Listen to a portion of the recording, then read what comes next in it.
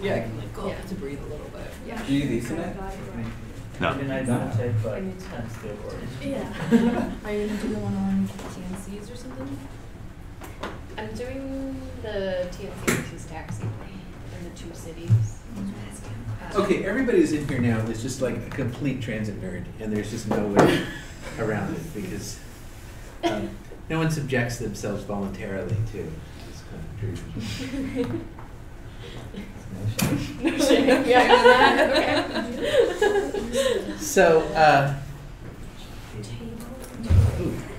I was in um, I was in Sacramento yesterday, and uh, the ash from the fires was really, really intense. And then I had like this really, really invasive eye exam today. So my eyes are like, so if you see me like, like closing my eyes, it's not because I'm like drifting off and bored, but I don't know when I felt my eyes so trash, so I, uh, I hope they don't look as bad as they feel. Um, Okay, so I blew it, I'm sorry, I thought I was just gonna finish about on time, so, uh, Mike started, uh, yesterday on, uh, shared economy and shared mobility, this is the last of the stuff on transit. I'm gonna talk about transit service planning. And we had just gone through right-of-way types, and I just started into that. So there's basically exclusive, semi-exclusive, and mixed traffic, and that's really the important thing. And I've kind of said this again and again. People keep talking about rubber tires and steel wheels, and people need rail, and they don't like buses. But a lot of what we're really talking about is, is rights of way. Um, so the exclusive rights of way are uh, are typically heavy rail.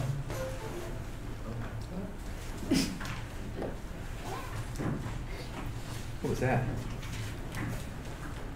It's on my screen.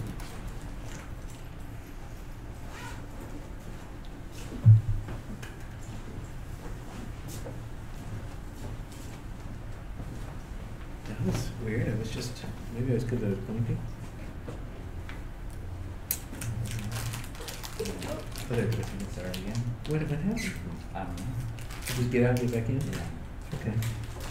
Okay. Um, is is heavy rail, and I mention this because uh, it's often powered by a third rail, and uh, you can be uh, you know badly electrocuted from that. Commuter rail can be exclusive right of way, but it can cross at grade, right? So we, we were on we Metrolink we visited. That's commuter rail, right? And um, so it can operate exclusive, but it can cross at grade, and, and that sort of would actually be more, uh, could also be in the, uh, what I call semi-exclusive. And uh, these are big projects. Uh, you tend to have boarding at stations only. You tend to have high-level platforms. You don't climb up to them. And um, you have payment of fares off the, the vehicle. Now, as you know, some commuter rail, you can pay on vehicle. You typically pay a premium for that. So then, um, uh, this, the semi-exclusive is kind of what we're seeing more and more. Uh, uh, so we can have commuter rail there as well, like the Orange Line busway if you've been on it. It's exclusive, but crosses at grade, right? So there's people that, that cross with that. Uh, a, a lot of BRT around the world is on this sort. Uh, the BRT, what we call BRT in LA typically is not. It's sort of skip stop service that has a few other features of BRT, what I've called in some papers BRT light. Um, and often the argument for BRT is you gradually upgraded it, and you can have some really high capacity uh, BRT lines. Uh, so, in I think I have a picture later, uh, like the Insurgentes line in Mexico City has just tremendous capacity, operates on like 90 second headways uh, with big double articulated buses. It's, it's really high, high capacity. So you have mostly physical separation from auto, and really for, for transit, being able to do that in, in spots, being able to find bottlenecks and have, have separation can be really, really important. Uh, it tends to have at grade uh, crossings. You still have boarding, boarding and platforms. They can be either at grade or, or climb up. So on the Orange Line busway, you typically uh, you climb up to it, I believe. You climb up onto the bus, and others that you'll have that at, at plat- platform. And then uh, uh, finally, the local service, and this was the, I gave you the, the apartment and roommate theory of all of this, remember? So this is uh, mixed traffic, the costs tend to be lower, and you can do light rail in mixed traffic. And often, that's where I think a big mistake is made, where public officials will say, "Oh yeah, rail, rail, rail. We really like right, light rail. We don't have the money to pay for exclusive right of way. We'll buy some cars. We'll run tracks down the middle of the street." Why hasn't ridership taken off? Well, operationally, it's just a higher capacity vehicle that's still stuck in traffic, uh, as as um, uh, as it would be with a bus. And in San Francisco, there's a lot of there's a lot of light rail that operates at street level in mixed traffic, um, and it, it has the advantage of higher capacity, but it has the same problem. So if you've ever ridden like the the N Judah or the you know the the M Ocean View, the K Ingleside, somebody double parks to deliver something, and everybody stops because you can't move around it. So it's got the same sorts of issues. So that's why I really want to emphasize kind of right of way as opposed to technology. Um, so when you're designing a transit line, most people think, okay, well it's the line and then I'm done. You know, job done. I'm all done. But the stops and stop placement and how you make decisions about that is really important. Kind of what you might do to enhance the service in a different way, and I'll give some examples of that. What kind of vehicles you use. Um, and then I'm going to just give you a little overview of scheduling. And uh, we've talked about performance monitoring at more of a system-wide level. and I'll talk a little bit about that at a, at a service level. So again, I was showing you those. Remember the last time we talked, I showed you those, all those different types. Generally, there's radial crosstown, circumferential crosstown, which is kind of the, the arc or the beltway sort of lines. Uh, neighborhood service, which Jarrett Walker and, and many um, self-respecting planners just hate neighborhood shuttles and things like that. Elected officials like them. They'll say, uh, we had a public hearing and people wish there was a bus here. Can't you run it here? But those neighborhood shuttles don't tend to fit into a network, and it's really the way that things tie into the network. Um, what they call circulator and other kinds of shuttles. So, common thing will be we've got an office park out in the suburbs, we have a rail line that goes nearby, we'll run a shuttle back and forth. Why are so few people using that? Well, there's usually two reasons. One is they have to make a second transfer, and we know that's that's not a good thing. And they often have to work their way through a parking lot to get there where there's free parking. So those are things that will get in the way of that. Adding that extra transfer is not as good. Being able to get the, the network itself to interact with the ideal uh, origins and destinations is most important. Um, so here are some local examples of these different kinds of service. So the MTA 20 line on Wilshire Boulevard, I don't know if uh, any of these ha- have been up. I did this a few years ago. I think they're all still accurate. Um, sort of limited stop or express service, and I'll talk about that. It's not necessarily the same as BRT, and I have some graphics that'll show you that. Uh, the LA Dash, the Boyle Heights route, for example, that's this kind of feeders, circulators, and distributors. And I know the folks at, at LADOT have tried to get rid of some of these lines. They're very popular, again, with elected officials. Loops, which is the the uh, the Dash Vermont main line that kind of circles around a loop. Uh, bus rapid transit, so MTA Orange Line would be the, the high-end uh, BRT that we have in LA. Uh, park and ride, uh, commuter shuttle service would be something like the LA DOT 419 because it actually has a park and ride lot. So the 431 comes here to Westwood, right? But it doesn't have a, a big parking ride lot at the end. Yes? I'm confused the difference between the, the former slide and this slide. You're saying those are type, the former types of lines? Yeah, and just give me an example here in LA if you're familiar with those, so you can get an idea of, of what it is. I've just described them, and then I'm saying here's some local So the examples. diff- there's no difference between line and route type, because they're the other that said line type and this says route. So are? Yeah, line type and route type I'm treating as the same. Okay. Okay. Um, and then like a zone service is where um, I think I talked about in, in Houston, they tried to um, have areas that were not easily served. They had a lot of, of uh, circuitous streets to be able to just call and get dial a ride and come down to the station. Uh, and then there's there's what this is called flex route or deviated fixed route. There are some areas we don't have much of it in in the U.S., but there'll be areas where um, in the central city you'll have regular stops, but as it gets out farther and farther, sometimes they'll work out to another town.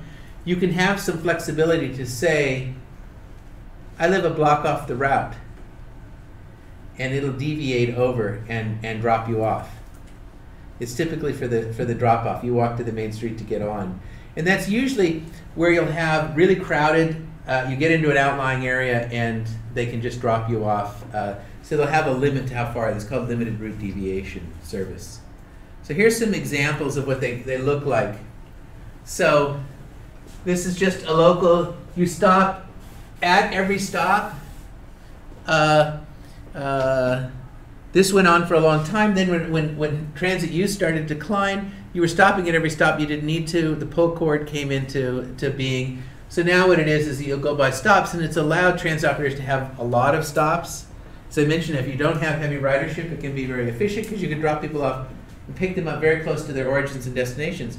When you have heavy ridership, and I gave you that example of Honolulu, you're dropping, eh, you know, every block or two you're stopping, and so it really slows uh, through your cycle times. Um, so this gives a look at uh, a limited stop service looks like this. So a lot of BRT service would be like this, where you go every every three or four stops and you go through. How many of you have taken a local to a BRT stop and then transferred to it? Have you done that? I've done it once. And I always have this debate: is it worth getting off? And you usually you save time, but it's more hassle, which really goes again to the to the transferring. So a perfect example: you're headed, you know, downtown or something like that, and you get off that local, and then I think, well, is it worth just walking up to the? There's these these dilemmas about that.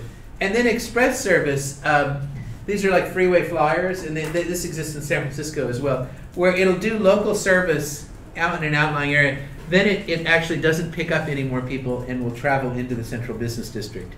So those are kind of three basic ways that, that, that service can be laid out. Okay, so what are some of the design considerations? We talked about the service design policies. Remember I talked about that at the outset?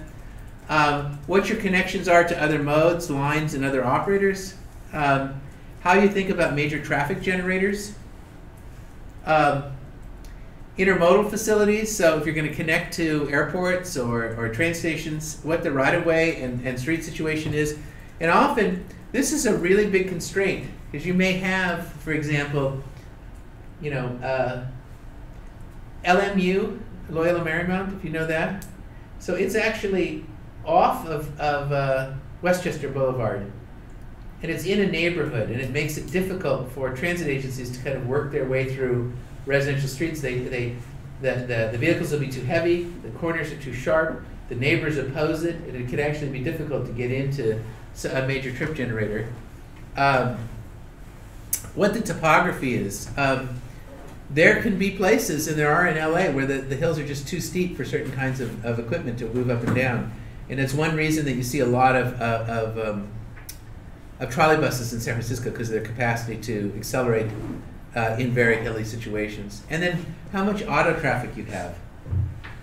One debate in transit is do you move off onto a parallel corridor that has lower levels of auto traffic because you can have faster through, through speeds? But usually that other corridor is crowded for a reason, that more of the, the major trip generators and attractors are there, right? So if you stay on there and crawl along through traffic, what the transit agent would like to do is what? What would they like to do? They want an exclusive bus lane, right? And they're usually not able to get it. So do you do you move off because of auto traffic? And then other overall patterns in the area. Let me see if there's anything else I want to say about this. Uh, Can I ask a question? Yeah. The, the right or the, the like like a bus only lane. Um, how are those enforced? Are they well? Are they enforced? Yeah, they're they're enforced. It's a it's a um, enforcement is an issue. I mean, what you want to do uh, with almost any kind of enforcement is to make the pain of being caught and the probability of being caught, uh, sort of the, the sum of that, discourage you from, from engaging in the behavior that you don't you, you want to avoid. And so a lot of a lot of criminal law and things are based on this idea of well, if the punishment is great enough and I think the probability of getting caught is high enough, uh, am I going to engage in behavior? There's a big debate now about about tax policy. There's been a lot of cut in auditing, and the chances of being caught cheating on your taxes has gone down a lot. And they they they're concerned that there's a big increase in people sort of lying on their taxes because they think the odds of getting caught are pretty low. I think that bus only lanes are a lot like income taxes today. Is uh, they will have, and transit agencies will get frustrated when they have a lot of people who are, are, are cheating and going into those lanes. And they'll push, sometimes they'll do a big law enforcement push where they'll come out and they'll ticket a bunch of people over and over again with the idea that, that if, if, if there's a whole wave of people who get ticketed, they'll start to modify their behavior. But there is a dilemma generally in having to enforce that. Um, this is a huge issue. I just did a little bit of work uh, a few years ago uh, with folks in Ahmedabad, India, and they were doing a BRT system where they were doing exclusive right of way.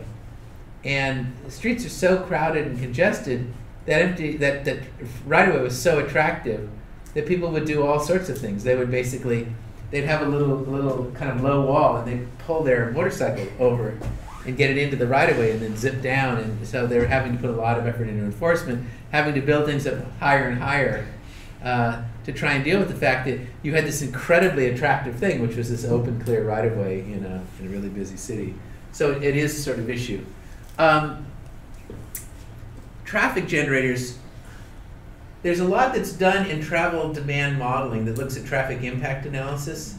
Is a traffic generator that we do for that the same as a traffic generator for transit?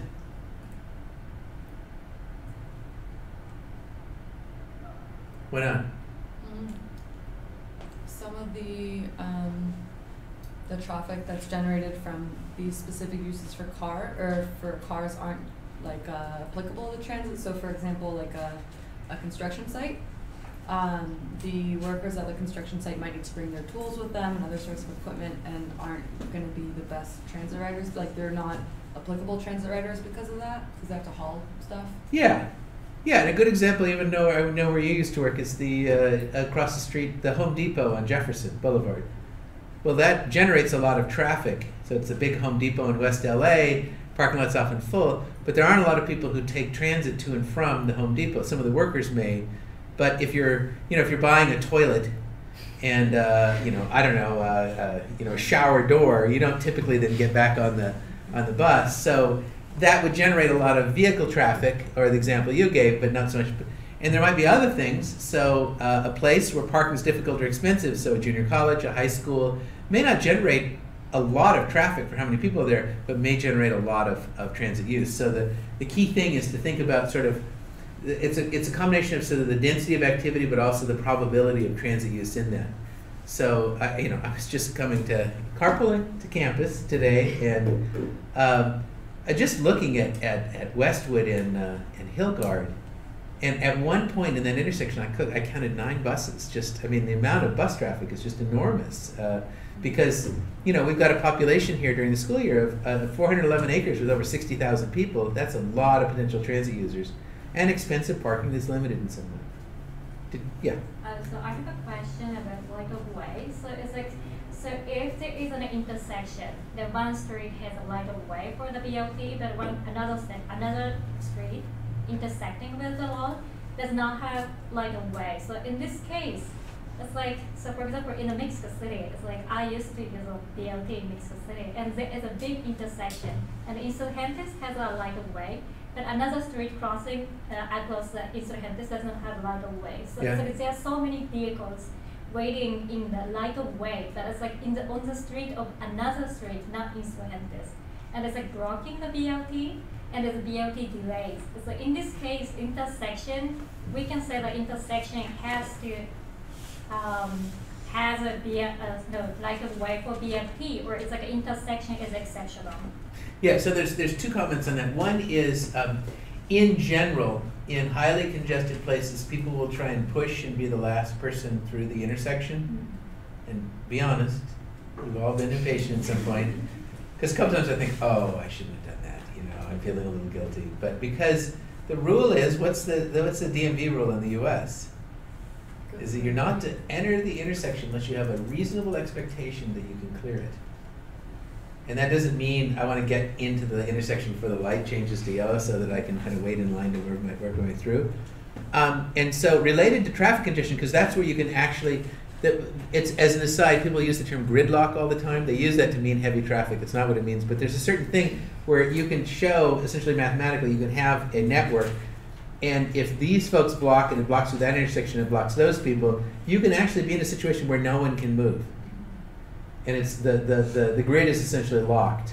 And so the way they do that is they'll also have waves of enforcement that you can go through. And that, that's, a, that's a big issue about how you manage traffic and in a place like Mexico City where you have so much population, so much density, um, that if, if people enter the intersection without a reasonable expectation to clear it, the light changes, they're stuck, then of course it locks up the line and you're, and you're lost on that.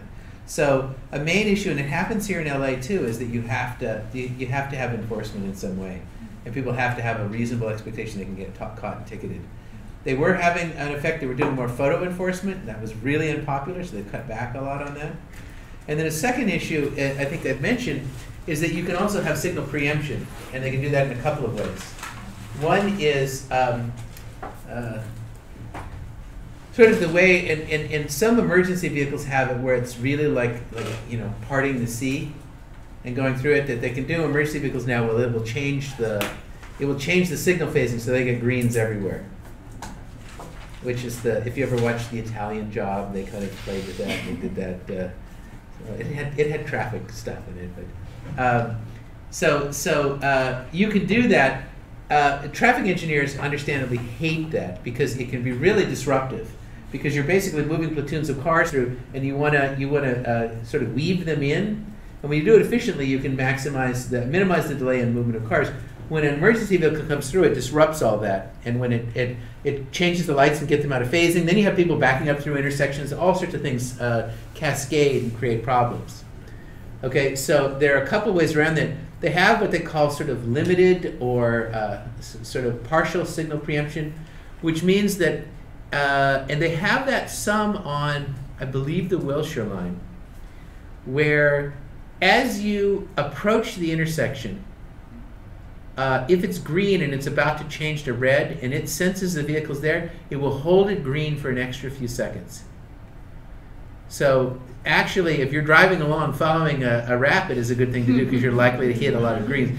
Now, if, if it doesn't work with the phasing and there's a large platoon of cars waiting and they're ready to go, they won't just hold it green. Eventually, they'll have to stop at the light.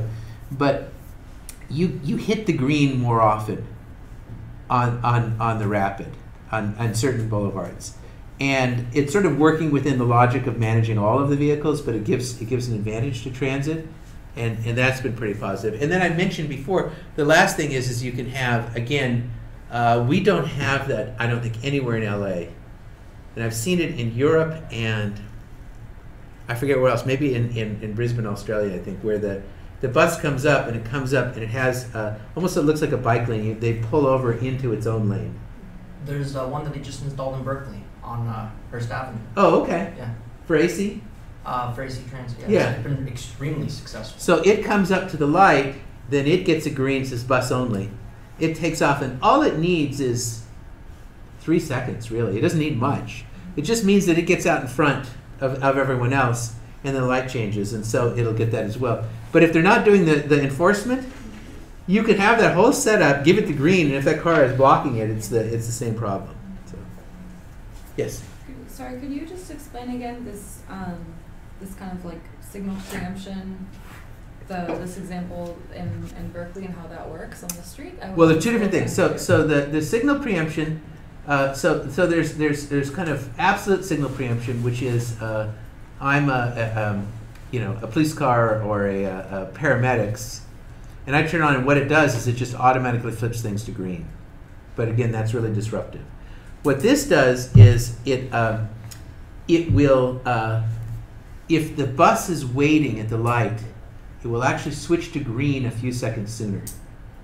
And when the bus, eh, so so eh, say say it's sitting at the light and it's it's number two in the queue, and it senses that a, that a rapid is there. It, instead of waiting the full say 45 seconds, at 40 seconds it will go to green. So it shortens the other the other street a little bit to get that rapid moving through, and then it makes up for it at the next signal phase to get it back into line. Or if it's opposing and it's about to get a yellow light, it will hold it for an extra five seconds. And then the bus gets through, then it, as soon as the bus hits it, and you can see it sometimes I've done that where I've followed, I have to be careful, I'm, you know, trying to explain, no, I'm really interested. but it'll go through and, and you'll see as rapid enters, a lot of times you'll get a yellow right away. Because it was then you know it was holding that signal for it. So uh, yeah, five seconds here, five seconds there. But if you start to do that over the whole length, it can it can add up. Now, if congestion becomes so bad, it, th- these kinds of improvements won't won't make any difference. But but it can do that. Anything else? I think that's what I wanted to suggest Can I there. ask one thing about the, uh, on the topic of traffic generators? hmm Um, what, and you're, and you were talking about versus like transit use? They're Yeah. the Same thing, so wh- what's the difference between a, a, trip generator and a trip attraction? That's a that's a good question. So um, uh, basically, the term is is it, it refers to whether people or, originate their trip somewhere or end it. So um, in the in the morning, UCLA is a trip attractor.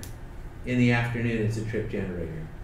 Generally, we refer to homes and houses and apartments as being trip generators, and sort of places of employment and retail as trip attractors. So they can use it in both ways. But but there's uh, the the way they'll the way they'll use to describe it in, in travel demand modeling, which is taught in the in the 30s, they say uh, a trip generation is a desire to engage in some activity, right? So I'm going to make a trip. I'm going to go out to eat with friends. I'm going to go to a movie. You're going to go somewhere to a movie. You're going to go somewhere out to eat, but you haven't determined where is it, the movie playing? Is this place cheaper than that one? Do I like this restaurant? My friend doesn't like this kind of food. You work it out. So you make a decision to go out to eat, make a decision to go to the movies. Then you decide on that, and so the attraction is sort of that decision to make a trip, Yeah. and the and the and the uh, excuse me, the generation is to make the trip. The attraction is sort of where you decide to go to fulfill that desire for an activity, and that's how it's conceived of in travel demand modeling, right? So there's the two part, and one usually comes before the other. I'm hungry. I'm bored. Let's go out to eat and go to a movie. Uh, where should we go? And that's a secondary decision. So in that sense, if you're coming from home, the trip generator is home? If you're coming from home, yes. Okay. Yeah. Okay. Uh, and then the role of the line in the system, we talked about that, whether it's a, I, I've been through that enough, a core line, something like that. Okay, some other things to think about. Simpler is usually better. And if you've been reading Jarrett Walker, you've been getting uh, that. But uh, can the street handle the weight of the bus? And how do we determine weight? Yeah, so we have things that uh, the buses are different because they're heavier when they're full of people than when they're empty, and it's typically on the axle load. So it isn't the gross weight of the vehicle, and a lot of our rules are on the gross weight of the vehicle, but it depends on how many axles. So the, the, the weight is distributed over the axles. So um, buses will not weigh as much as, say, uh, big trucks, but they'll tend to only have two axles and sometimes three where large trucks can have many, many more, right? Um, distribute that. People who don't want to do damage to roads want to have a lot of axles on trucks. And there's some that carry very heavy things that they, have you ever seen them where they're just one set of wheels after another? It's to distribute up because it's at whatever point that the, that the pressure is down. However, what's the downside of all those axles? Yeah. Um, it adds more weight, makes it a little bit harder to turn. Well, it does make it harder to turn. It does add a little bit of weight. It increases rolling resistance and reduces mileage, increases emissions. So you want as few. Well, if you've ever ridden a road bike, right? What is it? It's really high air pressure and really thin tires. Um, if you want to have good grip, you have your big, uh, uh, uh, you know, um, uh, off-road bike, but it has a lot more rolling resistance, and so that's the sort of trade-off. So this can be an issue, and if you don't have a problem with that, uh, if you don't handle that, you can do a lot of damage to the roadway with these vehicles. In particular, buses will sit and hold for a long time on just at a stop. And have you ever have you ever noticed that you'll see it'll be asphalt concrete and then it'll be Portland cement concrete at the stop? It's called a bus pad. You ever notice that in, in some areas? That'll be for a street that was paved at a light for a lighter load. And because buses sit there for a long time and can put a lot of downward pressure on the on that spot, they'll create a Portland uh, cement concrete pad so that the bus sits there, it's able to withstand uh, a higher load. So a lot of times, in, you know, we don't get into that if you do this assignment uh, related to this. We don't go and check all the, the, the streets, and, and but many have been frustrated by saying, "Oh, this will be perfect. We'll turn down here." Well, turns out that you know whatever street can't handle that kind of a vehicle. Um, you have to consider the turning radii of a bus. Uh, one of the most humbling experiences I ever had was was judging at a at a bus rodeo. Any of you know what a bus rodeo is? Everyone, it's a. Do you know what a rodeo is? You do? Okay.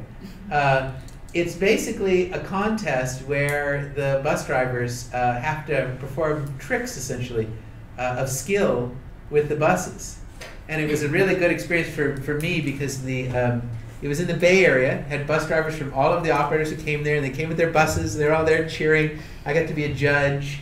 And um, the Muni drivers have to be driving these big buses down narrow, steep streets day in and day out, and their skill levels were amazing. Amazing. And so they would, there was this one driver who would come up, he'd come at like 60 miles an hour and like turn it sideways and he'd go, and it'd be skidding, and he'd go right between cones with like inches to spare without ever knocking one of the cones over. And the other drivers would knock them all over. I mean, it, you know, he was driving it like he was driving a Porsche with this. It was unbelievable, and and he was just had been doing it for 30 years and could could handle it. There is an irony. I don't know if I I mentioned. We talked a little bit about labor. Is that when you do the the um, when you do the bids on the runs? Oh, you might have heard me ask that at the. Uh, where where's that driver driving? On the easiest route. Because he's been there the longest. And the rookies, where are they driving? They're driving the number 30 Stockton through Chinatown. And it's kind of the opposite. I've always thought what they should do is reward that driver because you get, essentially, you get a premium for driving the really, you know, I'm sure driving Wilshire Boulevard and getting up into Westwood and things like that is a lot tougher than driving out in the San Fernando Valley. And uh, the driver should be rewarded for that in some way. But um, so you have to consider the radii. And what will happen is you'll work it out and uh, you can't get around there. This gets into uh, a conflict with complete streets, folks, because they want to push the, the, the, the sidewalk out, they want to push the curbs out, things like that. Well, you can't get a fire truck or a bus around a certain corner. You've, you've limited certain things that you can do. So, um, uh, in, uh, in Playa Vista, that was an issue. They wanted to narrow the, the streets more when they were designing it uh, in some of the places, and it turns out that it was actually uh, the fire uh, officials that said, no, no, no, got to widen things. Can't have these these sharp corners like this because the uh, the pumper trucks can't get around in case there there's a fire, and it's the same with with, with buses as well. Uh, what else? So this goes to your point: is that if you have consistently have problems with uh, with traffic backing through intersections, or you consistently have problems with railroad crossings, are not such an issue in West LA but are the bane of transit planners uh, trying to stay on schedule. Because out in the Inland Empire, for example, we have a lot of these freight trains that will be hundreds of, of cars long. That, you know, a bus will be on time and then the gates just come down and they'll sit there for seven minutes waiting for the, the train to clear. And then as it's about to clear, one comes in the other direction. And you can be there for 10, 12 minutes and you're, you're, then you have two other buses in the queue behind you if, they're, if it's rush hour or something like that. It creates problems as well. So that's, in, in, some places I know they'll actually avoid a, a, a surface crossing so that they can, they'll go a, a, a less, a much more circuitous route to avoid the, the uncertainty of those railroad crossings. Um, this is a really tough one, and that was the example I gave. I mean, UCLA is a perfect example of that. Um, if, if you're building a subway down Wilshire Boulevard, what you'd really like to do is have have uh, Wilshire Boulevard run about, uh, you know, between the, the the police department and the hospital at UCLA. That would be fantastic because you could just get off the subway and walk to almost any destination on campus. Now people are going to get off that subway, and now you have up to how far is it from here? It's almost a mile, actually. Yeah, it's almost a mile. It's a long walk, and it's uphill, and so then you have to transfer. And what do people hate to do? They hate to wait and transfer, right? So that's that's sort of a dilemma. But then when you make that turn and go into that big traffic generator, for all the through traffic, very frustrating for passengers. They'll they'll make like a four, five, six minute diversion, then they come back and they pass the point they went by six minutes ago. And you'll actually see in some places people with frequent services they'll get off there and run across the street and wait for the next next bus to come along as they're trying to move along, and that's really inconvenient for travelers. So it's a it's a tough trade off. What would Jarrett Walker do? He wouldn't deviate. He wouldn't deviate. He'd say, "Get off and walk." Um, let's keep that thing moving through there. But it's a it's a real challenge. Can I ask a question about the railroad crossing? Sure. Um, it you might not be able to answer. Is there like a, uh, like a cascading effect on traffic? Like say the expo line, the, the, the, now that the lights, now that there's such a long wait there at Overland. wherever, does it have a, like, the effect a half a mile up on other cars? Like, have there been studies on like people having to wait X number of extra seconds a day after an expo line is in a certain like, like a half a mile away? Uh, Is it even perceptible? I I, I, know I know this generally uh, the, the, the, the latest on this in, in general the, uh, the sorry uh, the uh, things like the expo line drive the traffic engineers crazy because what they're trying to do is optimize movement around the network and there's sort of regularized flows of vehicles so an event ending at Staples Center or Expo Line are difficult because it just throws this thing in and throws everything out of whack they're trying, as I understand it, to know the real-time schedules, and they try to do what are called sort of upstream and downstream adjustments. So, for example, if um, and, and, and the, the Expo line on Overland will do this is that if you are if they know that your car isn't going to get through the crossing when the train comes down, it might hold you two or three signals upstream. Oh, another place we do it on, on Wilshire Boulevard. So that what's the busiest vehicular intersection in California? Wilshire and Westwood. Why do I even ask these questions?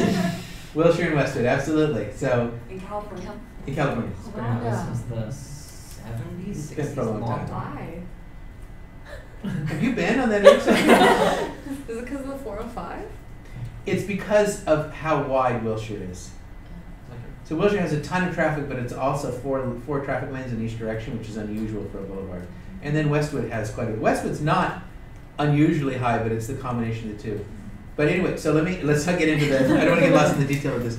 But the important thing about that is because so if y- if you optimize the flow of vehicles along along Wilshire Boulevard, everything is fine because when you cross Beverly Glen, when you cross these different things, you, you can work it out the timing to optimize flow. But there has to be a much longer wait at Westwood because there's more traffic that's moving in and out of Westwood Village. Because of that, if they just optimized it sort of at each intersection, what you do and what you did early on is you had huge queues at Westwood Boulevard. So you'd kind of move along really quickly and then you'd be held up at Westwood Boulevard. They still have that. So, well, one of the things they do is that uh, they will know the timing of a vehicle. So when you're coming out of Beverly Hills or you're coming from the 405, it will know where you are, uh, the system, and when you're likely to pass through Wilshire and Westwood, because they don't know you're going to make a turn or anything. And in your case, it doesn't know that people are coming from other things and getting on the roadway, but it does know the vehicle's farther up. It will then hold you at intersections. So you, have you ever done that where you get kind of frustrated, like, why do I keep hitting this red light? This is so dumb. Why are they doing this? Why are they holding me up? Well, they're doing that to keep you from all bunching right at that intersection. And then it'll it'll when it knows that you're now, uh, you know, 42 seconds away and you're going to hit a green phase, then it opens everything up and lets you go through. So optimizing over the network is different than optimizing at an intersection. And so you will get some counterintuitive things, and, and at times the system will hold you up. So now with the expo line where it has at grade crossings, it, it won't just wait at that intersection. It may keep the red longer two intersections away from that crossing because it knows that the train is coming through. And then when, when the train clears, it will let you go. So there is some, some intelligence to the system. And LA was, a, was an early leader in this. It kind of fell behind other cities, and, but has been making progress in doing it. Yes? So just quick clarification question. When you say uh, busiest for, you know, in terms of route plan, but also for like an intersection like Westwood and Wilshire, is that referring to the number of cars that are moving through that The number of cars at you're a certain referring to. time? Yeah. Number of cars. Okay. Uh, all right. So what are some basics of route design? So one is you have to decide where the route should should begin and end. Uh, you have to think uh, that it's nice to end at a major trip generator or tri- center because you can have transfer points there. Um, the bus, uh, when it's a bus, has to be able to lay over without blocking traffic. You have to be able to lay over. So you have to store it somewhere. So one of the reasons that for years we used to have a stop here at McGowan Circle, they've moved a stop down here so it's better located. I just got off there for the first time with the shuttle because my bird scooter wouldn't work. I tried twice, it wouldn't unlock. So I've been abandoning the. Gotta go on. I haven't. I haven't downloaded Lime. You know, Bird gave us money at our last conference, and Lime hasn't. And I asked them for money, and they didn't give it. So I'm. I'm trying to reward Bird for, for helping to fund our, our last conference. So, um, but I, I will download Lime. I I yeah, right now I'm only Bird, only Lyft. I don't. That's. Um, so, but you can lay over buses here, so they can hold, and there's all sorts of reasons why you want to do that. And I think I've talked a little bit about it. Um, and it has to be a safe and secure place for operators. So there's been an issue where you lay over in a dicey, you, you know, you'll pull off a major street and pull over into a dark, uh, uh, in an industrial area, and, and, and drivers can be robbed or other kinds of problems. So it needs to be a safe place there. And, and it's really important that they be able to use a, a, a restroom facility. This is often an issue. And that they'll sometimes work out agreements with grocery stores, drugstores, restaurants to allow the drivers to go in and out and use the restrooms rather than having to, to store that. And I think I've mentioned that. I mean, when I rode San Francisco Muni, there were a couple times where they would just stop in the middle of the street and run in um, because it's really difficult to have layover spots for, for Muni. Okay, so let's let's do an exercise. So uh, where should our line run? First, you deter- determine the path of streets you're going to go on. You determine those endpoints. So this was uh, uh, my former student Kurt when he was first doing the re- uh, uh, revisioning. Kind of came up with this. So you have their downtown transit center and Houston Community College, right? So you have an anchor at each end. Um, you create intermediate time points. So you want to say, okay, well here are two major other stops, and the way that these time points are is that in between, the driver has a lot of flexibility on, on uh, how fast to go, how slow to go, how long. But when they get to a time point, we talked about this on, on, on Fri- the Friday we were there. What can't they do at this time point? They can't leave early. Right? So if they're behind, and now with, uh, uh, with AVL automated vehicle, automated vehicle locator systems, you can see where they are but you don't want it to leave early. So if you've ever done that, and it's frustrating, I just wish communication is really important. Have you ever sat there and you're thinking, I need to get to where I'm going, and they're just sitting and think, what are you doing? Well, typically they're waiting until they're just looking at the clock, and as soon as it says 4:13, boom, they're off and they're going again because they can't. They, they've gotten ahead. I just think they can say, we're ahead of schedule. I got to hold here for four minutes, and uh, and then we can go. But so you have those time points that you work out. Uh, and that's how people know. Uh, you, you, you know, when you look at schedules, you kind of know what, what it's supposed to be, and then it's how you determine your on on time performance calculations. Uh, and then what you have to do is create running times between the time points. And typically they'll go out and, and drive through. They'll drive an empty bus to try and figure out what it would be. So in this case, you have you know eight minutes, six minutes, ten minutes. So you have an overall one-way travel time of 24 minutes. Uh, and this is going to vary by time of day or day of week for two reasons. What are the two reasons it would vary? To time and traffic. Exactly. Dwell. Ooh, very nicely done. Dwell time and traffic. the two things in there, right? Because you have a lot of passengers getting on and off, it slows you down, and if you have a lot of traffic. Um, so you then have to include the time in both directions, and it might be slightly different. So you have a round trip time of 46 minutes in this case, in this example. You still need to consider layover time. So uh, you have to put that. So you have the round trip time and the layover time, and um, and the layover time is is really for both things. It's a break, but also if you're behind schedule, if you schedule things really tight, and I think that uh, again, I think Southwest Airlines has been uh, really good at being able to pick their layover time. So I just flew at the end of the day. I had the last flight up to Sacramento in the evening on Tuesday night, and the last flight back on Wednesday night. Both of them were on time. And part of the reason is, is they're really good about what's called recovery time. So if you're behind, can you then get caught up? Because if you if you schedule it together with no recovery time, then a flight late in the morning, every single flight for the rest of the day is late, right?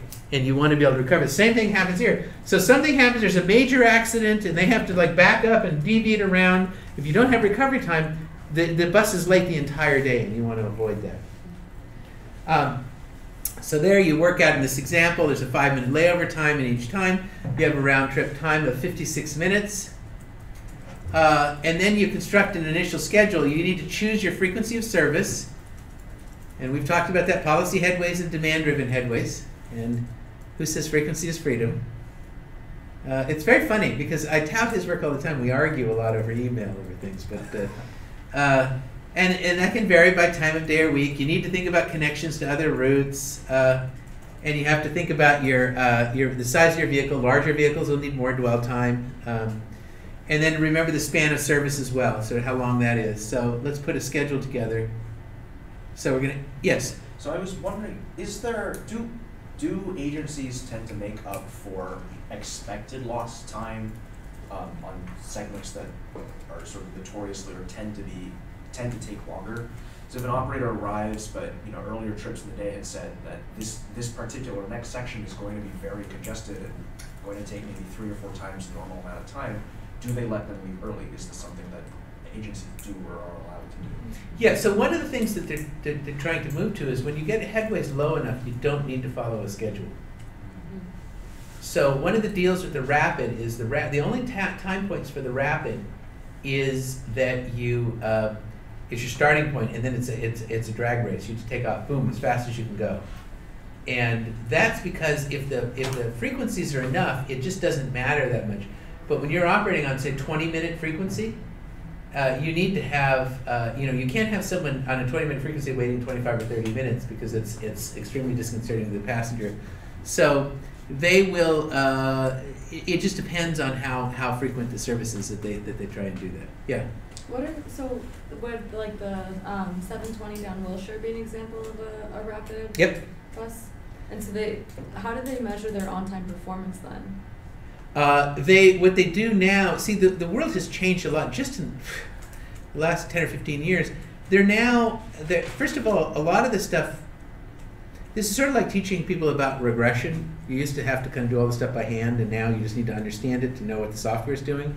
The software is getting better, and they're actually tying it in more with actual real-time information. That goes to both of your questions. Is that now, if on whatever reasons, uh, you know, again, the high school gets out and it causes a lot of localized congestion, and then there's always a seven-minute delay at 3:30 p.m. on school days.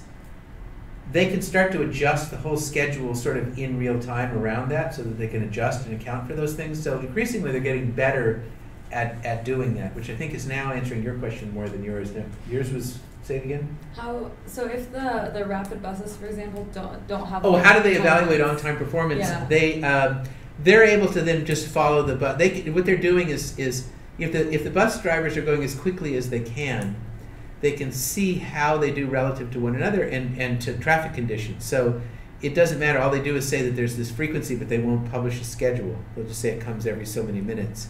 You can do that below 10 minutes. Uh, typically, 10 minutes and up, you know, it starts to become you need to be more on on a schedule. So how do they know that they're doing on-time performance? They just can see how each run is, is performing in, in real time, and they can actually analyze it, and they can they can analyze data that allow them to see how how different routes perform and how different operators perform. Yeah. So I used to take a bus, I think it was the 234 in Taipei. Um, and what would end up happening with that kind of thing is that bunching became a huge issue. You would have sort of, it was supposed to come every five minutes, but then you'd have five buses and then no buses for about half an hour. Yeah, so we we talked a little bit at the uh, well the group I was in. I asked a bunch of bus bunching questions, but, uh, but not all of you were in that that group. Um, so bus bunching is a uh, is a bad thing. Buses like to get together. Uh, uh, people don't like that, and and just uh, it's really important to understand conceptually what goes on. Um, is that if um, you're you're an operator, you're moving along, you're held up. There was a there was some somebody went through an intersection, and blocked it. You were there for two cycles, and something else happened. You got behind. Okay, so what happens is the bus behind you is gradually catching up to you, right? Then you go through the intersection. Now, what happened is, is if we assume that people are, when you have 60 minute headways, people are very careful about when they show up at the stop. But when you're below 15 or 20 minutes, it's almost as though it's a random arrival. So just imagine people randomly arriving at, at, a, at 15 minute headway. People are randomly walking into the station, right? Or walking up to the stop. And you have people randomly arriving. Now that, that bus ahead of you has left. And now instead of there being 10 minutes, it's 15 minutes. It meant that 50% more people have randomly walked up to, for you. So now you get to that stop and you have more people who are boarding. And processing their fare payment slows you down more. Meanwhile, that other bus is catching up to you. Now, by the time you leave, now it's 17 minutes between you and the bus in front. So at the next stop, there's even more people to pick up. And so you get farther and farther behind, and your bus becomes more and more crowded. And then you were there waiting a long time, and you said, This to be every 10 minutes. I've been waiting for, for 18 minutes. The bus shows up, and then it's packed full of people. So not only did you have to wait a long time, but you're irritated that it's so crowded. Meanwhile, the bus that's catching up to you, what's it like on that bus? It's empty because now it's been two minutes since the last stop and there's no one there. So that's where supervision comes into, into play. And what they will do, and, and she gave that example, she'll say, they just shut the sign, say often says out of service. They don't, they don't, uh, people can get off, but no one can get on. And it just pulls out in traffic and it goes in front of that, of that other bus. So they switch positions in the, the time. And then it tries to then get so far ahead, it can get back into the on time slot. So they can say where it is. Well, that bus should be at um, wherever, Western and Wilshire, and you're way back here. It will pull over, and she said that, you know, they'll let people off, but it'll go ahead and people will be waving, but it says not in service. There's people on the bus, it'll race ahead, and then it pulls back over, it gets in that slot, and then they can drop that person back into the, to the previous bus's position, and then you're back on schedule. So that, that's the kind of things they do in supervision to deal with, with bus bunching.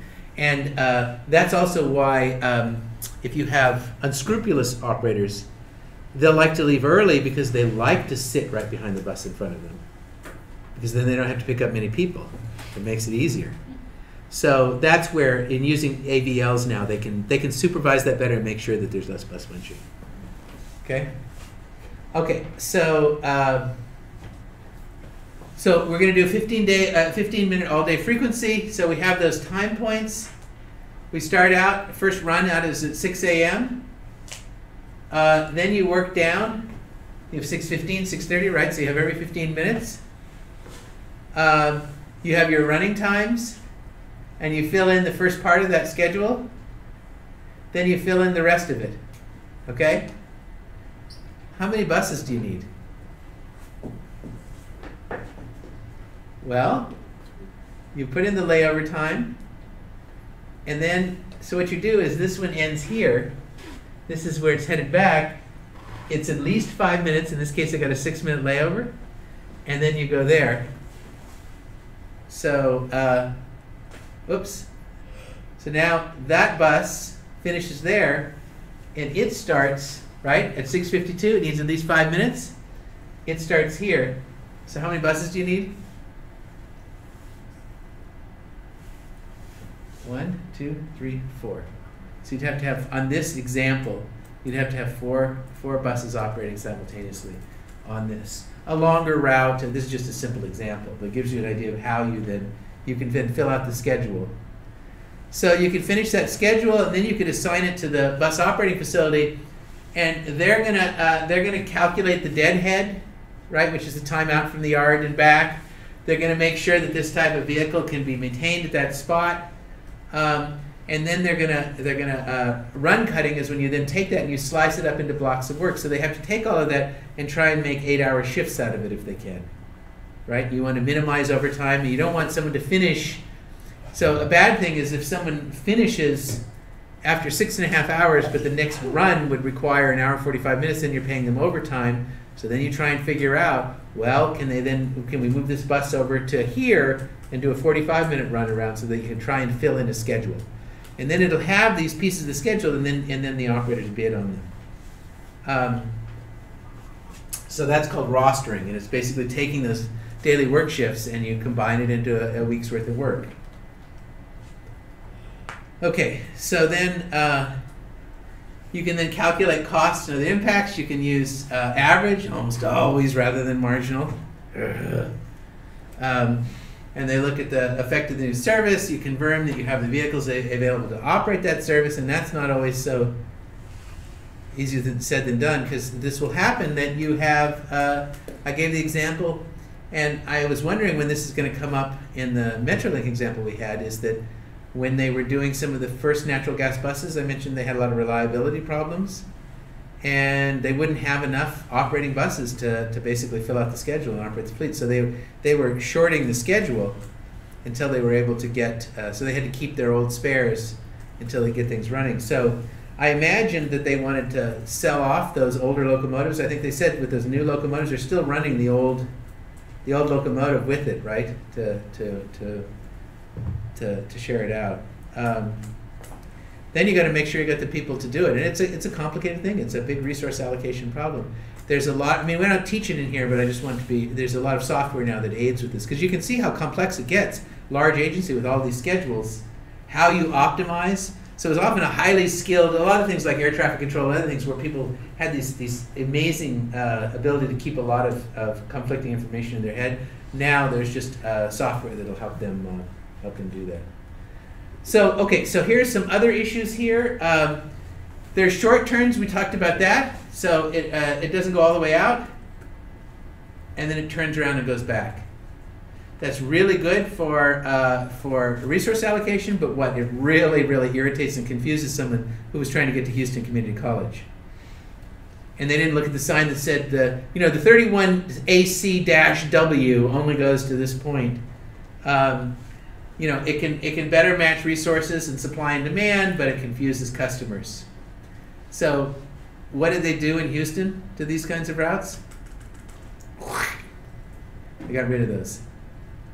So they, they went after trying to simplify the route network. So you can see over time it's a very logical thing, but that's where you get more and more complex systems that are harder or less legible for cons- consumers. Doesn't seem like they'd be that smart because most of the time the endpoint is something that's really popular. Well, um, a, a, better one. He, we're, we're just sticking with this example. Uh, let me oh, let me pull back. Is um, a classic thing is Washington Metro. So you have a lot of density of demand coming out of downtown, uh, the, the, the, central area of the district. And as you work your way out on the lines in the suburbs, you know, you get on and you're standing. You think, oh, okay, I've just got a spot I can grab here. And then after a few stops, you have some room to stand and then you can put your hand down, and then you see, oh, I get a seat, and then you keep going out, and when you get out to the last three or four stations, there's like six people in the car, right? So what happens is, is when they operate that all the way out to the end, they're only carrying a few passengers, and then they go to the end, they turn around and come back, they're only carrying a few passengers again. So there's a lot of service that they could use that to turn it around and run shorter headways, which lowers the crowding in the center.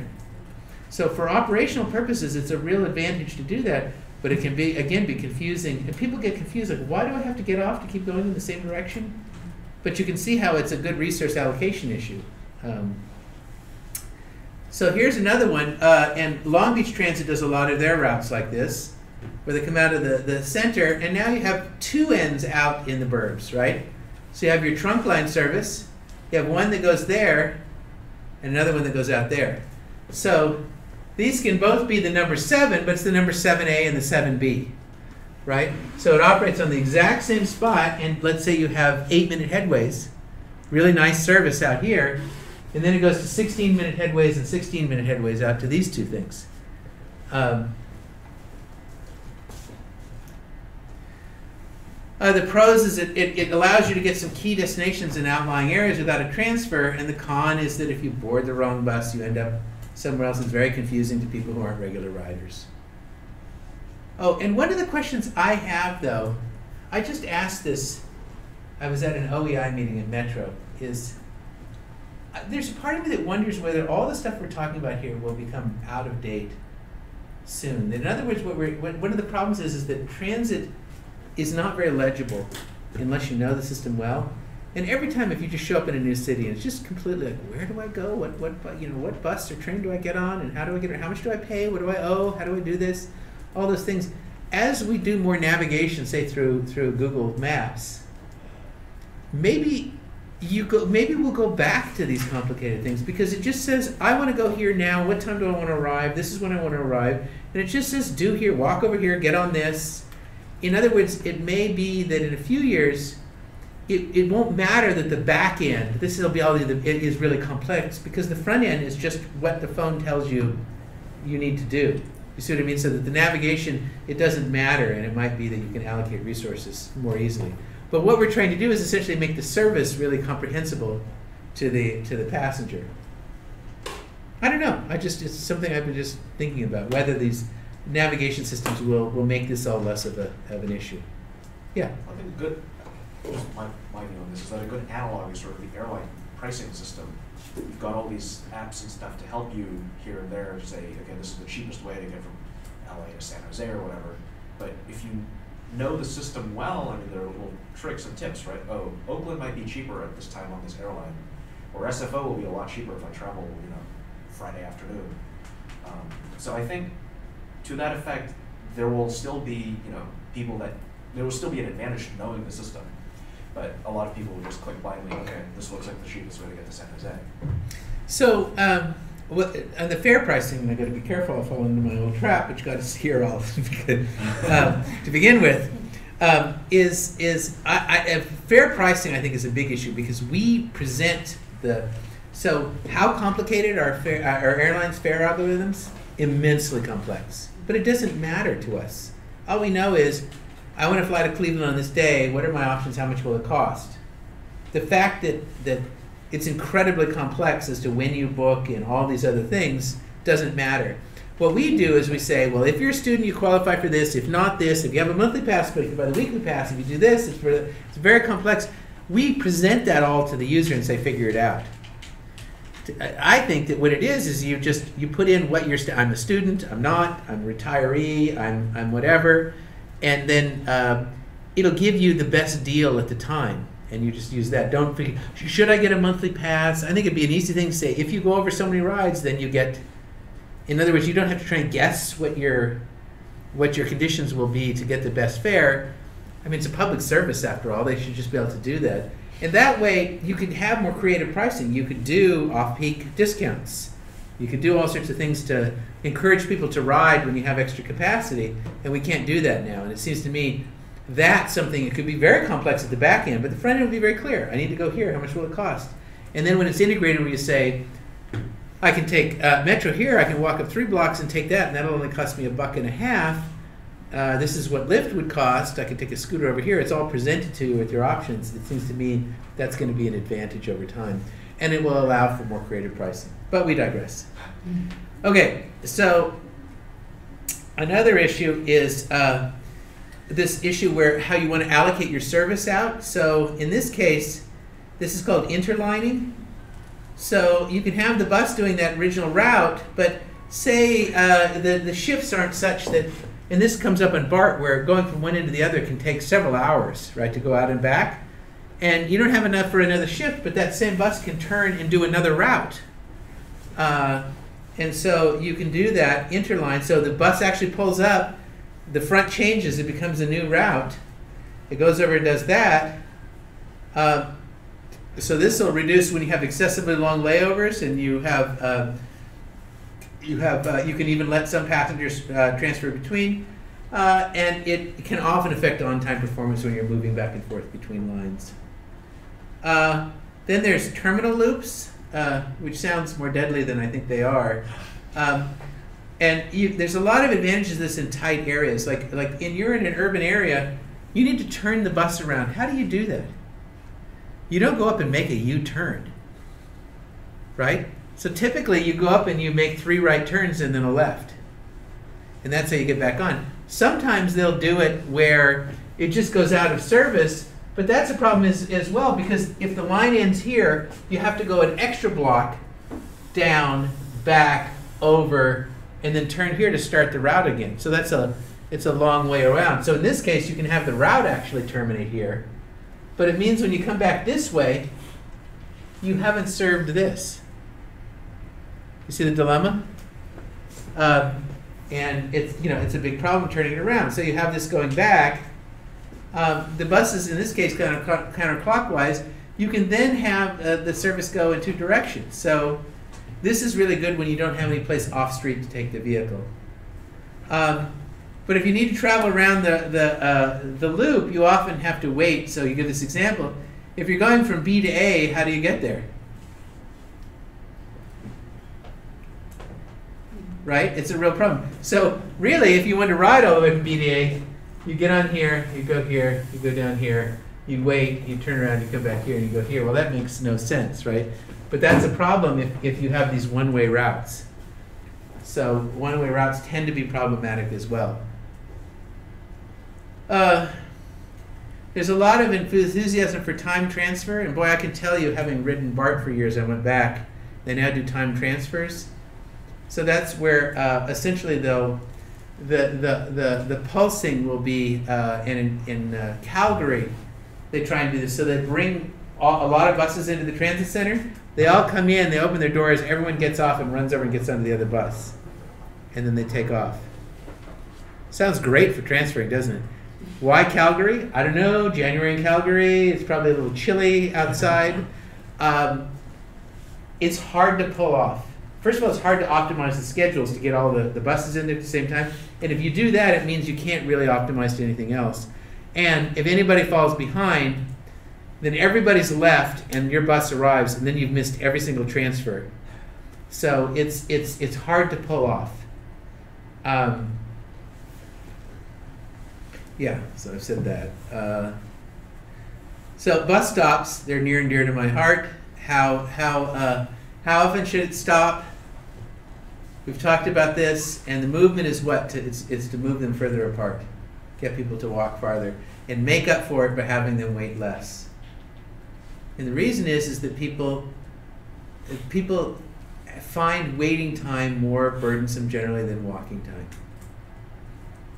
because in walking they feel like they're doing something and waiting they just feel like they're waiting and they're wasting their time uh, and where should they be located i told you the thing about the, the near side far side fights uh, and and you can think about what makes a good bus stop uh, anastasia and marty Wachs have both done, done work on this they found that what look like two identical bus stops you have high numbers of, of crimes against persons and property in one and not in the other. And they've tried to understand what, what explains it. Turns out a lot of eyes on the street, uh, no escape route, businesses active around it, all are really positive that even late at night, when people might be walking in and out of a restaurant or a store or something like that, you're much less likely to be victimized than if you're on a lonely, quiet corner, as it might make sense. So, in some areas where you have people traveling at night, you may want to have the stops correspond to different, uh, different sorts of places. Um, there's uh, how important is seating?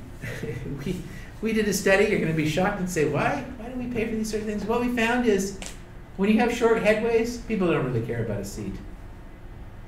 When you have long headways, they care about a seat. When you have a short headway, they don't really care about that they're out in the elements. It's long, they do. Restroom, all those things. So one thing you can do is spend a lot of money fixing up stops. Another thing you can do is just have your buses run more often. So we found that one of the most popular, we did a survey where we, we sent students out all over California. Some of them we, we had them travel up to these various spots. And they would go and they'd survey people while they were waiting and transferring, right in the midst of it, to ask them about how are you feeling right now about this experience. And it was it was a cool study. We, we ended up getting like 2,300 uh, surveys of people while they were transferring. And one of the most popular stops was like like Seventh and Broadway. And there's trash everywhere. There was graffiti, and you know, your your your feet would stick on gum on the sidewalk. And why did people like it so much? Because the buses were just coming, boom, boom, boom. You'd get off the transfer to one.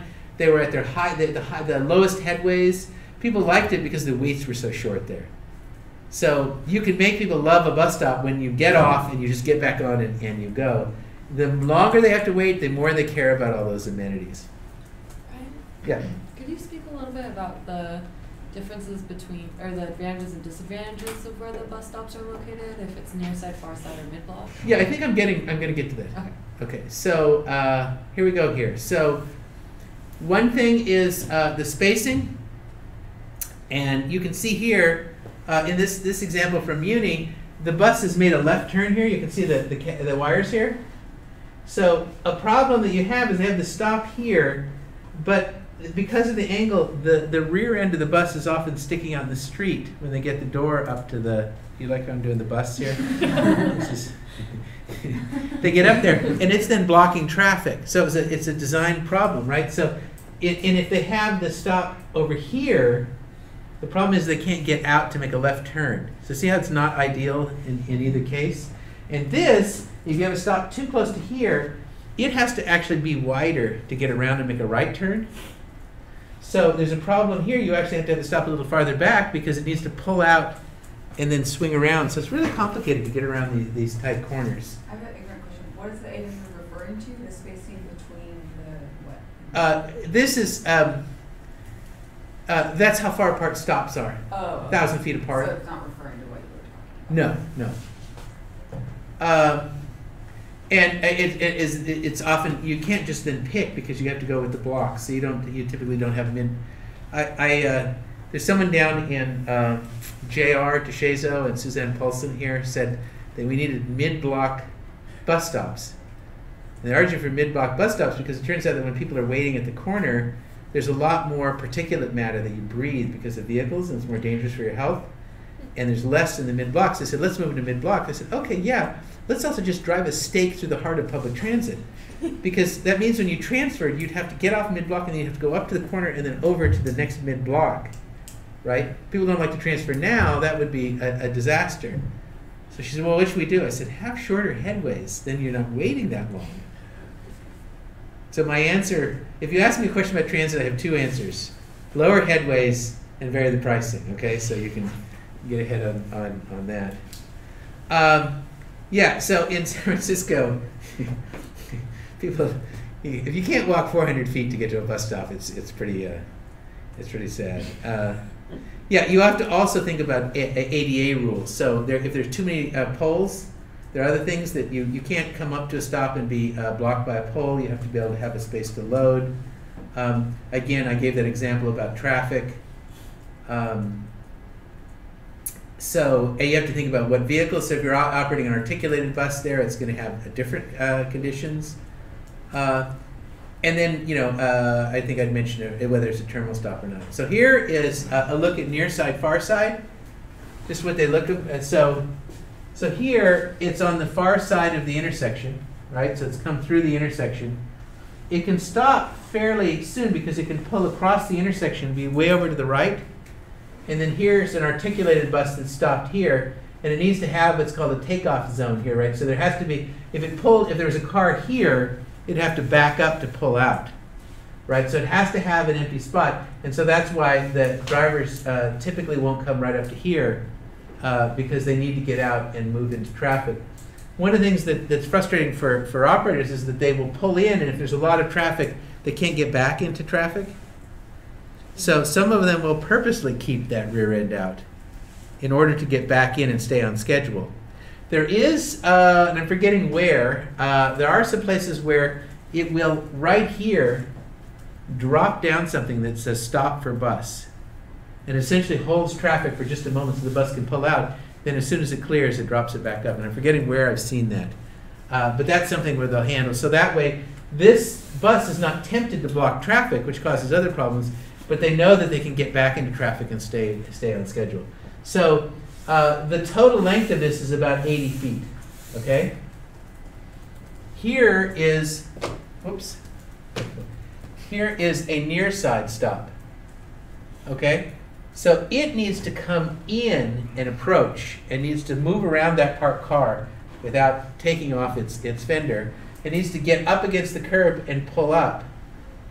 Okay? And you typically don't want to pull up here because if it had to make a right turn, it's got to have ability to get over and make that turn. So here it's about 90 feet. So one thing is, is it takes about 10 more curb feet for a, a near side than a far side.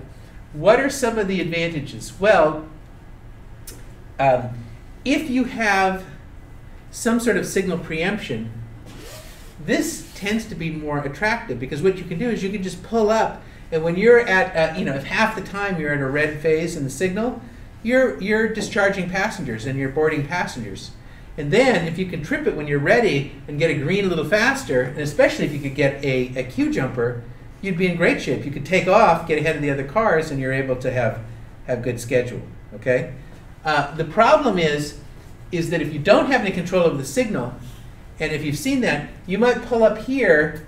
You're taking on passengers. It's got a green light. It's got a green light. You go, come on, come on, get out, get out, pay, pay, pay, pay, pay, pay. then the door closes. This changes to red, red, and then you sit there for the entire cycle.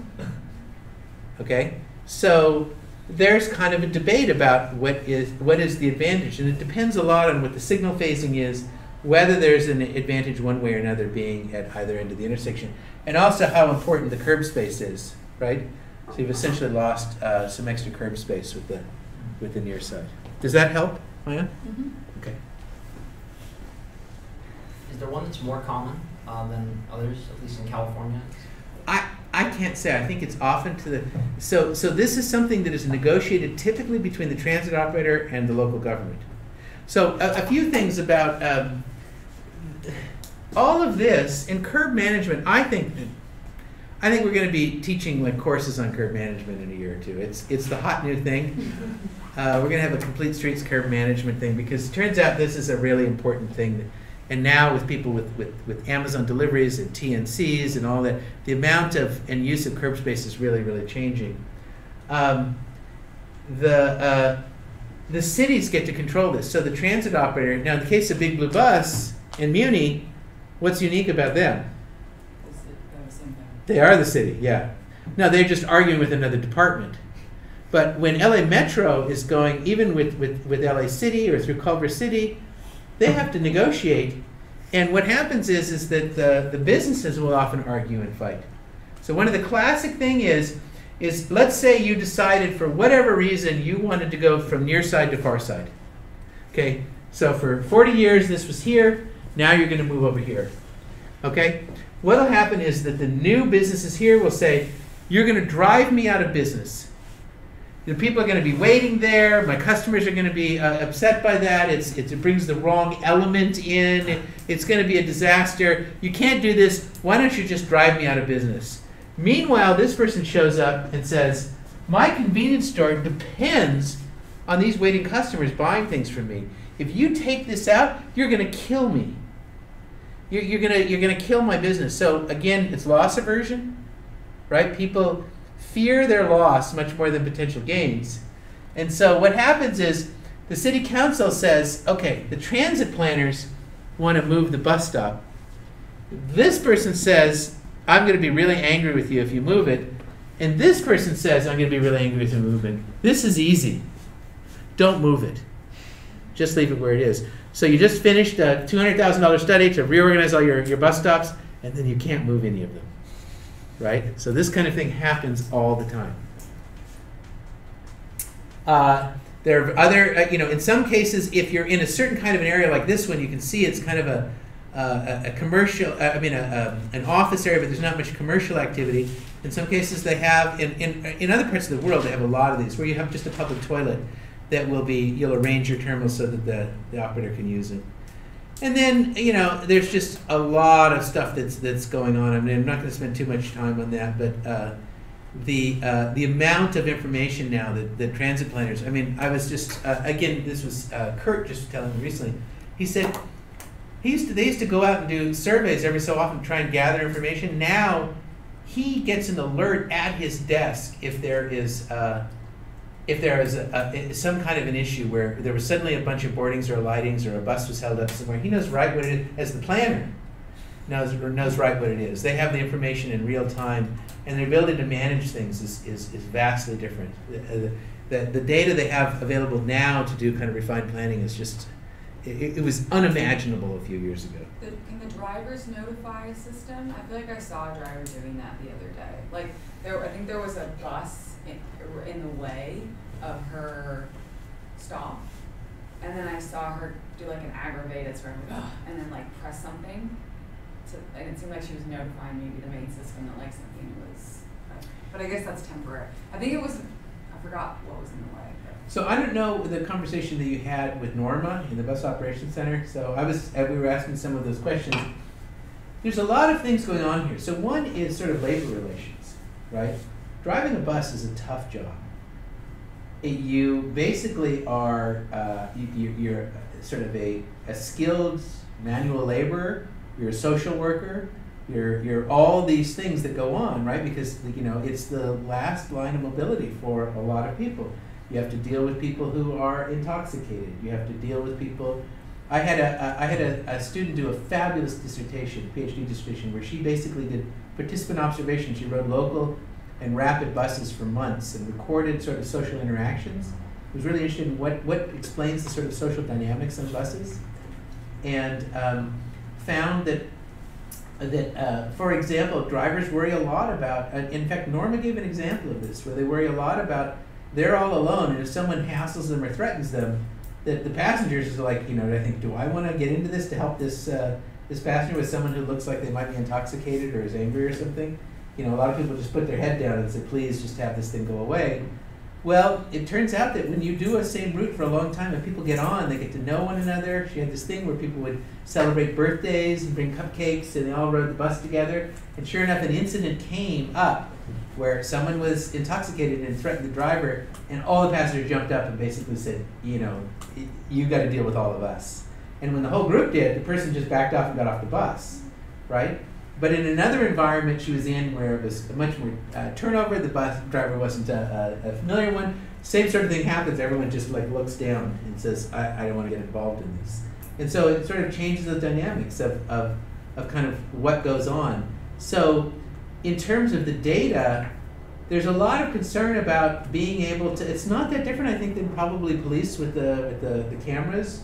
Is they now can they now can watch all the time people feel that's pretty invasive. Um, so so uh, uh, Camille noted that there would be people who would who would you know there was someone who was looking for work. He was getting on every day, saying I'm going to three other places to look for work, and one day he got on. He says you know he was short some money. He said get me you know next time. And then she observed later that the person came on and said, "Here's for this," and I owe an extra fifty cents. So they're they're trying to help people get to destinations, and you know, in some ways that driver would get in trouble, uh, in, in theory, for, for saying, just get on. You know, give me the 70 cents that you have and, and, and just get on. But that's kind of a role that they're playing, and there's a sense that by uh, being sort of watched by Big Brother, there's not an appreciation for all of the, the kind of the real time decisions they have to make out there to avoid conflict and to manage things that go on, and not an appreciation for, for how difficult the, the, the job can be. Um, and so, yeah, you can get a lot better data on that, but it's hard to know uh, whether, uh, uh, and in some cases, uh, labor will resist being able to monitor things in a certain way. So they're like, like resisting around the bus bunching. They now do a more aggressive job. we went and visited Norma 10 years ago. She said it's a real problem, and, and there are certain workplace rules that limit our ability to observe that remotely and, and correct it. It, it, it for in I think the previous labor agreement, they had to, a, a, supervisor in the field had to observe the bus bunching and then would supervise it. But if they could see it with the data through the system in the bus center, they couldn't say, hold up here and we have to do this. So over time, it's a complicated set of factors that are going together in how they manage this. Okay, I think I'm almost done. Uh, so uh, there are just a couple of things to worry about. I think uh, delays in travel time improvements and capacity and overcrowding.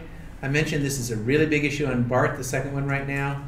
And of course, there's all sorts of ways that, that people have historically dealt with managing capacity and overcrowding. Um, yeah, okay. Uh, so I've talked about almost all these, but yeah, I wanted to put that up there is that on urban transit lines, the bus is not moving about half the time. So about half the time it's it's sitting at an intersection, stuck in traffic, at a stop, waiting to pull out. And uh, so that's where you can get those big time differentials, right? Um, uh, stuff they're, they're trying to do a lot with dwell time, being able to get people uh, on. There's a movement now with being able to use smart cards where you can do, you don't have to go through. You, I mean, you could do front and rear boarding. So one of the things they've done with, with BRT is when you pay off the vehicle, you just get on. You don't have to negotiate your payment. And you know, how many of you have been waiting to go up the step and say it's raining, you're trying to get inside the vehicle, and someone's saying, "Oh yeah, let me see, where's my, uh, you know, I, if I could just find my." So tap cards tend to be much faster. Boom, you just go through. They're trying to do that. I think I asked a question about whether, uh, I mean, I'd really like to see them be able to just use readers that, as goes on and off, it just deducts the fare, and then you can just walk on and off the system. Um, but they're still quite a ways from doing that. Um, uh, transit priority is sort of the dream of transit agencies. Uh, it always feels like it's just around the corner. Um, and I think we've already talked about almost all those. Oh, the islands and bulbs I didn't talk about. So see there where um, the bus doesn't have to actually pull over. See how the bulb comes out? Uh, the issue is is that um, uh, typically that will take a, traffic lane when you do that, right? But it can make it much faster for boarding and lighting. Anything else on there? Uh, yeah, sometimes only the bus will be able to make a turn and no one else can. You seen those? Or only the bus can go straight. Uh, but again, someone had mentioned enforcement is an issue with that. All day board, all door boarding is also really, really popular um, uh, idea, but it's really difficult to implement. Yeah, so there's there's articulated vehicles are most popular in the U.S. Double decks are less popular. Uh, ADA makes it an issue, uh, and and it can be really crowded. And those are steep steps typically to go up and down. Um, I think I've mentioned all of this. Oh yeah, so here's here's BR. This is high capacity BRT. Uh, I think people don't have an appreciation for how much uh, can be done on this. So you can have exclusive right of way. You can have transit priority. You have your own station, so you have on and off boarding. You have wide stop spacing, so you can have higher through speeds. Fare prepayment off, and then you have high capacity vehicles. And are these double artics or? Oh, that's a that's a those are just standard. But look at how many of those are lined up. Um, and uh, yeah, and, and particularly in, in Mexico City, Bogota, Quito, uh, and, and uh, Curitiba, it's been incredibly successful. It's sort of a lower cost way of having uh, uh, rapid transit. Um, so that's it. With four minutes to go. Did it. I told you I could. Okay, any other questions for the two, three, four, five, six, seven, eight heroic ones? Yes. Um, I had a question about reducing headways. So I, that makes sense for a lot of sort of large urban systems, but when it comes to like foothill transit, which is a massive amount of area to cover and not necessarily sort of a string of pearls or evident major pathway, um, does it make more sense to have a cooked spaghetti model? Or I mean, evidently that's not the most efficient. Um, Well, yeah, you can't have you, you can't have low headways everywhere because the demand doesn't justify it. What does happen is lowering headways increases demand, so that there can be some positive feedback. I mean, I think the key out there is really to be able to use technology to reduce uncertainty. I mean, the worst thing. eh, I mean, how many of you have been in a situation where you can say, well, in the old days, you say, I know that the bus comes at 4:56, two stops before this one, so I have to be out there by 4:56 to make sure I catch my bus. You can do that. You know, I know now LADOT, you, you put in the line number, it texts you back where it is. But uh, of course, the next step, and what, what you know, Waze will do now, if I'm if I'm going somewhere, it will say, "Going here, you need to leave now." And I didn't even set that up, but that, of course, is a great thing for public transit to be able to say, you know, I, I'm here now, and it says leave now to go catch your, your vehicle. So I think the more you can reduce that that uncertainty, because showing up at a stop and not being sure about when the vehicle has just come, and it, you know if you've walked out and you've looked down, and I mentioned that that you see it a block down and you just feel like you've been punched in the gut, right? Oh.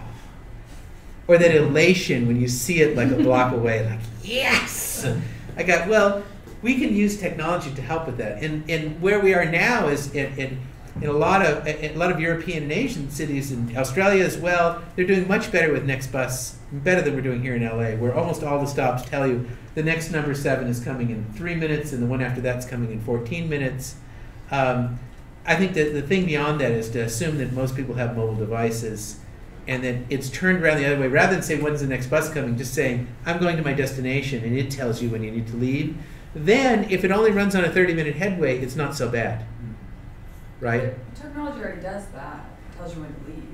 Uh, yeah, yeah, but the thing is, is that most bus riders are not using this kinds of technology. And what, what this has always been an issue is I just was finishing a paper I just uploaded now that um, um, the the socio uh, demographics even now are still that the bus riders are disproportionately the poorest people. I mean, I, we just got this 2017 data. I didn't even present it to all of you. It, it, it's, it's so high. So you have people have mobile phones, but they don't have data plans. And the issue is, is the people who need this information the most right now have it the least. So yeah, young, technologically sophisticated graduate students have that information, but not your typical bus rider. And, and sort of that's, but, but when that's available, I think it's going to have a big effect. And yeah, One question, so with, with autonomous vehicles, um, how much more like solving of things like congestion issues will buses, assuming we still have bus drivers and we still have public transit, but people are just starting to drive in autonomous vehicles, so that the, the roads are networked such that there's a lot less traffic because we have smart cars that aren't stupid and like cause accidents or they know when to um, accelerate and they know like so things are just flowing a lot better. That'll help transit a lot, right? I mean, I'm probably not thinking of a lot of other factors, but all else equal, like congestion will initially probably go down a lot. Well, my my uh, we're going to talk a little bit about this at the end, but um, and we're going to have a person who's probably been working on vehicle autonomy longer than anybody in the country, and he's going to explain that we've come a huge way in getting to the point of autonomous systems. We're still a long way off from that. We're going to have a long transition period of partially autonomous vehicles, manually operated vehicles. It's going to be kind of messy for a long time as we're I mean, I just I just got a new car and it like has adaptive cruise control and lane keeping assist and it keeps yelling at me to keep my hands on the wheel, but basically in traffic on a freeway it'll drive itself.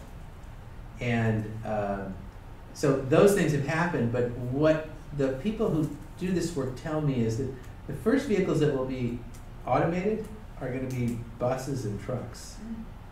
Um, because of their lower speed operation and a number of other things about them, you can have bus only lanes and things like that. It's defined, right? Um, the evidence suggests that they, they did a really cool experiment at UC Berkeley, which I hate to admit that, but they did.